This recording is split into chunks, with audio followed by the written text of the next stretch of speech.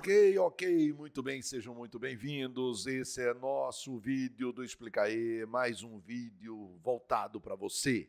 XP Resolve, esse é o nome do nosso projeto. Beleza? Vamos lá, vamos resolver mais uma questão do Enem. Enem 2009, segunda aplicação. Vamos ao texto, senhores. Se liguem aí. O período entre o final do século XIX e início do século XX foi de intenso fluxo migratório em todo o mundo. Então não é só no Brasil, né? No entanto, muitos países passaram a restringir a entrada de imigrantes japoneses. Ó, muitos países, então não foi só o Brasil, a entrada de imigrantes japoneses, justificando que estes concorriam com a mão de obra local e prejudicariam o mercado de trabalho. Na verdade, havia um grande preconceito racial contra os orientais nessa época. Na imprensa, nos meios políticos e nos locais onde se debatia a opinião pública, houve um intenso debate acerca da imigração oriental. Intenso debate acerca da imigração oriental. Influenciados pela campanha antinipônica e pelas ideias racistas, mais uma vez, ó, ideias racistas que circulavam no mundo, muitos cafeicultores políticos e intelectuais brasileiros enxergavam os orientais como racialmente inferiores e preferiam trazer trabalhadores brancos e europeus a fim de branquear a população mestiça brasileira. Esse retrospecto contraria o mito do Brasil republicano como um país inter, um paraíso interracial. Entre as principais líderes brasileiros, a introdução do imigrante japonês estava longe de ser unanimidade. Segundo o texto, esta controvérsia tem origem aonde? Pois muito bem, senhores. Nós temos que lembrar que isso não ocorre só no Brasil, como o próprio texto diz. Mas temos que lembrar também o que é está rolando lá no mundo fora, né? Nós temos que lembrar que no século XIX, no século XIX, ok?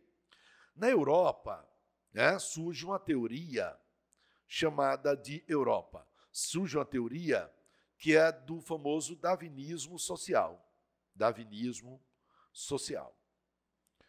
Fotemeg, pegaram carona na teoria de Charles Darwin? Exatamente. Pegaram carona naquela teoria do Charles Darwin, né? da teoria da evolução das espécies. Exatamente. E aí então surgiu essa tese do darwinismo social.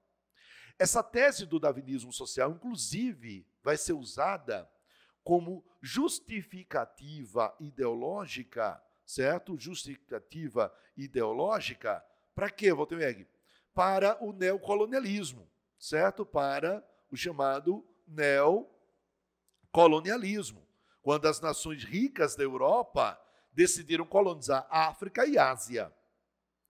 Então, qual vai ser a justificativa? Olha, como vocês da África e da Ásia são povos inferiores que não evoluíram, então nós, os europeus, certo? Como somos civilizados, vou botar aqui entre aspas, viu, gente? É a teoria deles. Então, os civilizados europeus levariam a esses povos da África e da Ásia considerados atrasados, levariam o quê? Levariam até eles o chamado processo civilizatório. Processo civilizatório. Voltenberg, então, isso é um preconceito do caramba. Pois é, gente, é disso que fala o texto. E nesse caso aqui, Voltmeg, como os japoneses são asiáticos, o texto fala do preconceito que havia contra asiáticos. Exatamente. E o texto diz que por isso mesmo, aqui no Brasil, nesta época da imigração, né, estão entrando muitos imigrantes. O que é que o texto disse, senhores? Disse que os europeus, os imigrantes europeus, eram os preferidos. Os imigrantes europeus eram os preferidos, por serem o que? Brancos, serem civilizados. E isso também contribuiria para quê? Para branquear o povo brasileiro, branquear o Brasil. Sem volta também que, que loucura da porra, velho. Isso aí, pois é, gente, isso existiu. Infelizmente, né, nós assistimos a isso ao longo da história. Ok? Lembre-se que entre os brancos ainda havia aqueles que se consideravam mais superiores ainda. Quem? Os arianos. É por isso que os alemães vão desenvolver tanto a crença nesse arianismo. E o desgraçado do Hitler, mais tarde, pegou carona nisso, né, gente? Querendo eliminar da Alemanha quem não era ariano. Lembram disso aí? Pois muito bem. Nesse caso, havia um preconceito aqui muito grande com relação a quem? Aos orientais, aos nipônicos, aos japoneses. Que chegaram os japoneses no Brasil? Sim, gente. É bom que se diga que no ano de 1908 chega ao Brasil, certo? O primeiro navio, certo?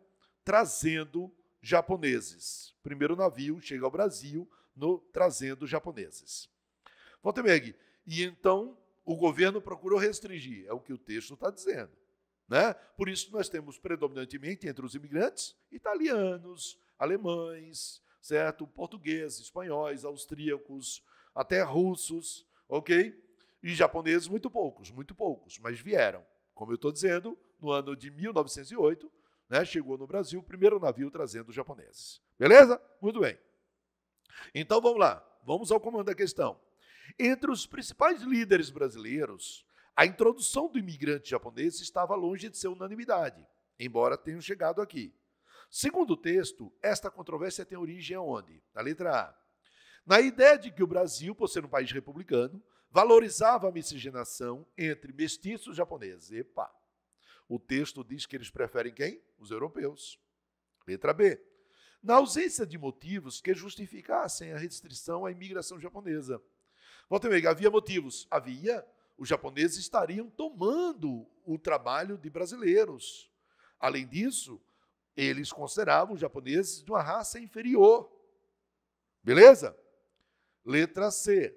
No preconceito racial contra os orientais e na preferência por imigrantes brancos e europeus, que possibilitariam o branqueamento da população mestiça. Então, vou ter que a resposta já está aqui, exatamente aqui. E a letra D, Waltermeg? No intenso fluxo migratório de europeus para a América do Norte. Nesse caso, nós temos também europeus vindo para a América do Norte, certo? Mas também para a América do Sul.